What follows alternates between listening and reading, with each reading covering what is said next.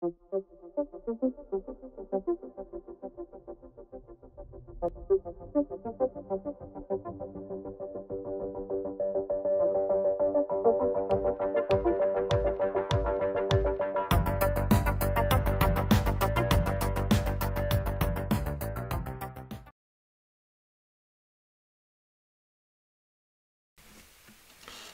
We're now going to work an example problem for an enclosed vertical space and the problem that we're going to look at is that of a double pane window.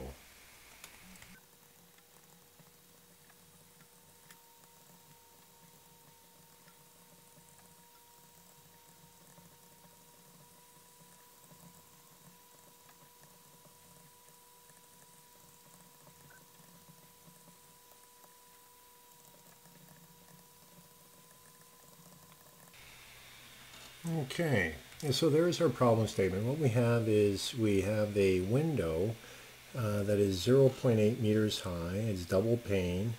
And uh, we have two temperatures that we know. We know a temperature on one side and the other. And we're looking to determine the heat transfer through the window. And we're also looking for the R value. So in order to solve this problem, and we're told that the uh, a fluid in the window pane is air, in the gap between the two window panes is air at atmospheric pressure. Sometimes you can reduce the pressure within the gap to reduce the density, which then reduces the amount of uh, natural convection taking place. But in this case, we're told that it is at atmospheric pressure. So let's begin this problem by writing out what we know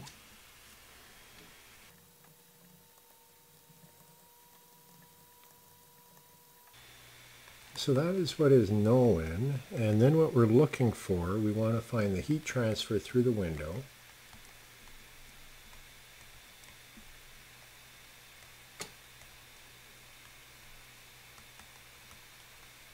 And we're also looking for the R value. Okay, so to begin this problem, what we're going to do, we're going to go and we're going to get the properties and the properties for this, uh, we're going to be using one of the correlations for uh, natural convection and vertical cavities. And for those, the properties were evaluated at the average temperatures. So the properties here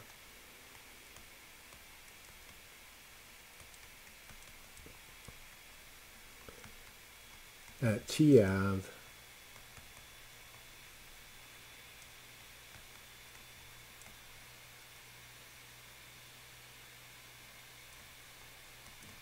So 280 Kelvin. So going into the property table and looking up the values for air.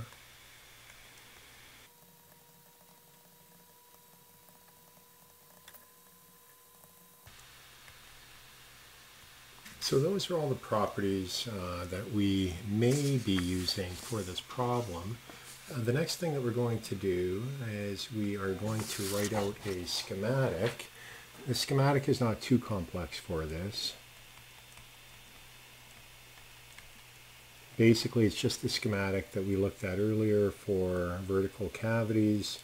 We're told T1, T2, T1 is greater than T2, and the gap here is L, and that was 2 centimeters, and we know that there is air in here. So for the analysis, what we're going to do, we're going to begin by determining the Grashof number, and then from that we'll get the Rayleigh number, uh, and then we'll determine which correlation we can use based on the Rayleigh number. So let's begin that.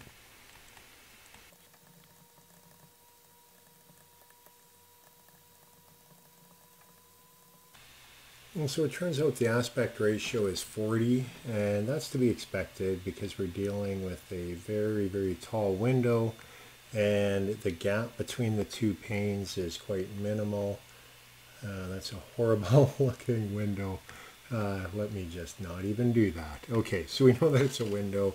Uh, it's very tall, very narrow aspect ratio 40 uh, the Rayleigh number here, Grashof times the Prandtl number, we have 1 times 10 to the 4.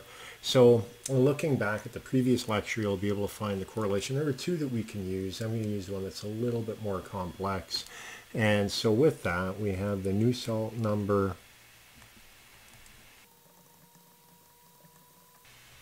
So we can plug in the values and what I'm going to do, I'm going to take the K over and the L over. So I'm going to isolate for H on the right hand side. I'll write out explicitly what all the values are. Now the Prandtl number that we're using here, I believe the correlation said that it would apply for Prandtl numbers greater than 1. Uh, let me double check that. Yeah, we did say the Prandtl number would be greater than 1, but 0.7, it's close enough. This is heat transfer. Um, eh, you, uh, we'll use that. it's probably fine. Uh, and that's all that we have at our disposal to solve this, so that's what we're going to do. So with that, uh, what do we get? We get H is equal to 1.73 watts per meter squared Kelvin. And Q, we wanted to find out the heat transfer coming through this. We use Newton's law of cooling. Temperature difference is the hot minus the cool. Plug in the values. So 27.68 watts is what is flowing through this window. Now let's look at that uh, Q double prime, or Q over A. 17.3 watts per meter squared. And we are now going to use that in determining the R value. So this is the first part of the problem, and getting Q. The second part is the R value, so let's go on and take a look at that. And if you recall, we looked at this a long time ago in the course, uh, much earlier lecture. But we had uh, said that the R value in SI is delta T divided by Q over A. So here we know those values. So you get an R value of 0.578. And now let's put this into context of the R value that you would read if you, uh, or you would see if you went to a hardware store.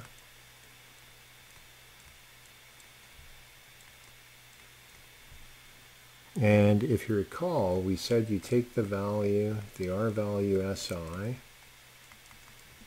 and you multiply by 5.679. And so with that, we get an R value of 3.28, which is pretty low.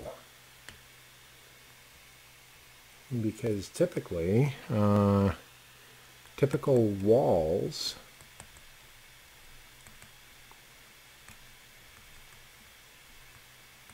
You have an insulated wall, you could have R12, R16, R20, and here we have R3.28, and, and so therefore windows, and no real surprise here, windows are not great insulators.